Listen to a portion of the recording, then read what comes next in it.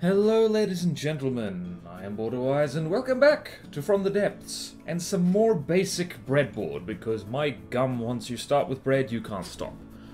So, on the video I made on breadboard thrust vectoring, I got a comment or two saying, Hey, did you know that you can do 3D thrust vectoring, as in have pitch, yaw, and roll all controlled by the same things? And I was like, what? And thankfully, those very helpful people in the comments told me exactly how to do it, and I figured it out. Uh, and so now I can share it with you. So, what we have here is a plane of sorts. Have you ever just built, you know, a plane shape? It's fun. Uh, but anyway, this plane is just a wooden prototype, as I like to do. It's got four custom jets, and it's got the fuel for the custom jets, it's got some uh, mainframe, and it's got a breadboard, with currently nothing on it. So, how do we get uh, this thing to 3D vector maneuver using just the breadboard and these engines? Well, step one, you gotta name the engines. So, if we turn the UI back on, uh, never mind the flooding, that's probably fine. So, you'll notice that I've named these things. So, these two are named right jet, and these guys are named left jet. You could call them anything, uh, but in this case, it's because I want uh, the stuff on the left to be called left, and the stuff on the right to be called right, but jet as well. We'll get to that in a second. So, over here in our breadboard, the first thing we're going to do is we are going to uh, set up the yaw the way we uh, would just for usually uh, doing thrust vectoring. So we're going to put in propulsion right here, and I totally, totally don't have a screenshot of this just to uh, ensure that I don't forget how to do this, because that would be cheating. Totally don't do that.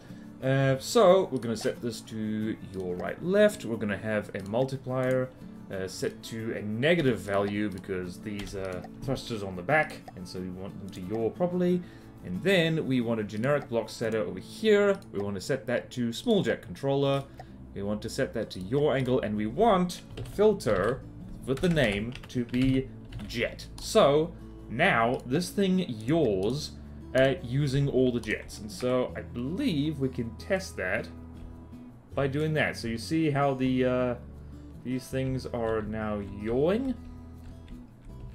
So now that works. We know that works. That's really good. So now pitch and roll are actually controlled via the same thing. So first off, we're going to go and take our propulsion component. We're going to make two of them up here. We're going to set one uh, to pitch, pitch up and down. We're going to set the other to roll, right and left. And then we're going to add a sum component. So that's this thing right here, and like goodness knows, looking at that symbol, I had no idea what that meant when I first saw it, but now I do, thankfully. So, I just want to take a moment to mention here that um, I am not finding it very helpful to look at other people's bread, uh, so to speak. You really do need someone to explain it if you don't know what you're doing.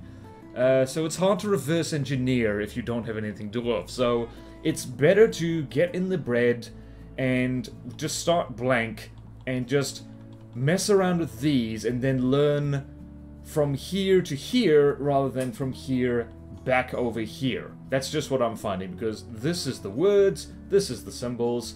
Knowing the words first help. But anyway, so what we want to do here is we want to put these guys in there. So what that does is that you have pitch input, roll input, they're added together and that resulting number is what is actually put uh, onto the block itself, which is very convenient. And then we're going to have a multiplier right here, and we're going to have that multiplier be a positive number because we just that's just fine. And then we have the generic block setter. And same thing over here, we're going to go small jet controller, we're going to set a pitch angle because uh, the uh, roll is also is going to be set by pitch. And we're going to connect this here, and the name we're going to go with uh, for this top one is right, because uh, just the way the this is currently set up, the stuff on the right, the positive values will cause it to uh, pitch in a positive way, to pitch right, so to speak. Left is usually negative, unless I'm completely forgetting that. So now we can test that by trying to roll. There we go. So there. So if I want to roll this way, it does that. And if I want to roll the other way, it does that. So that's set up quite nicely. And then for the other side, uh, we're doing almost but not quite exactly the same thing. So we want our propulsion component, two of them. We're going to set one to pitch. We're going to set the other to roll.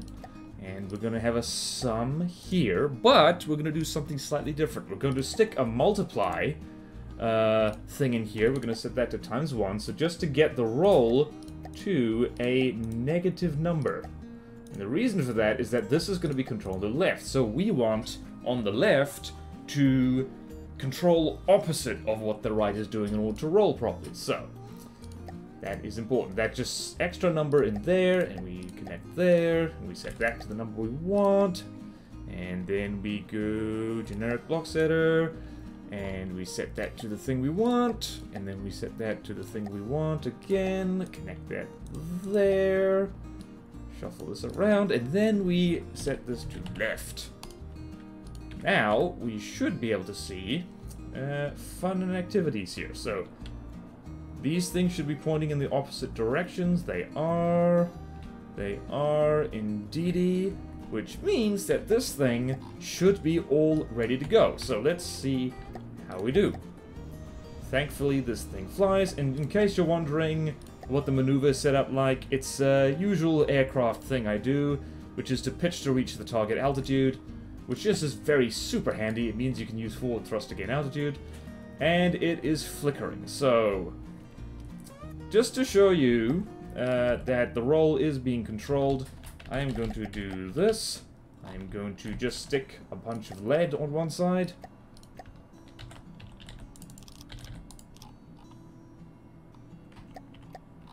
And hopefully that should do the trick. And you will see that uh, we're pretty much auto-corrected. Although I suspect that we have a bit of a drag problem right now. So you can actually check this to see if the uh, breadboard is controlling the roll. You see that the roll input is currently changing. So that means that uh, if it's changing back and forth, it means that the thing is controlling roll just fine. So let's put you over there. Yeah, it's almost like putting lead on your aircraft is a bad idea. Let's just get rid of that for a second. there we go. So that's basically it um, uh, for uh, the 3D thrust, thrust vectoring. It's one of those things, it's slightly more complicated than just controlling yaw and pitch. Uh, but uh, once you realize that you just gotta stick an extra number in for the left, then it's all gravy. So I'm just gonna uh, leave it on the screen for a little bit. Uh, actually, what I'm gonna do to stop those numbers flickering and giving myself a headache uh, everyone, like, you can um, take a screenshot of this or whatever you like, really, uh, just to give yourself an idea, and just once over, uh, let's uh, go over it again. So for the yaw, it's exactly the same as usual thrust vectoring. You got your propulsion input set to yaw, you've got your multiplier set to negative number, doesn't have to be 15, but it helps. Then you've got your jet controller set to a name that all your propulsion that you want to control shares, and then to control the right, you have pitch and roll propulsion input. You have the sum of that uh, with a multiplier to actually control the thingy. And then you have uh, the generic block setter set to control the blocks you want to do and and set to do the thing you wanted to do and with the right name for it. Like in this case, the right name is right. And pretty much exactly the same thing for the other side, for the thing with the other name. And then uh, you just stick an extra uh, negative one a multiplier in the roll, so it rolls the way you want it to. And then, eh, voila, you got something like this. And the only reason this can get out of the water, uh, by the way, is because um, uh, it's made of wood, which is very convenient. So that's basically it for 3D thrust vectoring. This is actually really nice. And uh, by the way, you can just mess with the PID settings if the flickering is uh, driving you nuts. I personally don't mind. I like my craft to look busy.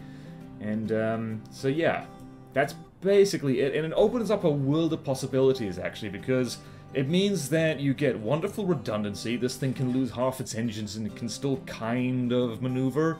Uh, probably not that well in practice, but it can still hypothetically do it. It means you need pretty much no control surfaces other than your main propulsion. I don't need air elevators, I don't need air rudders, I don't need ailerons or anything like that, uh, which is great because they're kind of fragile and they're, uh, if, since you have to stick them out on the extremities of your craft, they can be a pain in the butt to armor. So in this case, it means you don't need to bother with that at all, which is absolutely fan-dabby-dozy. So, that just about does it for this, uh, for this little video. I'm gonna send you on a long trip, so you're not constantly strafing in a circle. So yeah, that's another episode of Basic Bread. So I hope you found this helpful. If you didn't find it helpful, I hope you enjoyed my plane, and if you have bread suggestions, please do share, uh, because uh, bread is one of those things you kind of learn bit by bit, and by gum, if I get inspired to try certain bread, I will go off and do it. It might take me a while, but I'll do it. So, thank you all so much for watching. Please like, comment, subscribe if you want to see more videos like this. Support me on Patreon or YouTube membership if you like. It really helps, and there's fun perks in it for you. Thank you to all my current supporters, and I will see you next time in From the Depths Basic Bread. Farewell.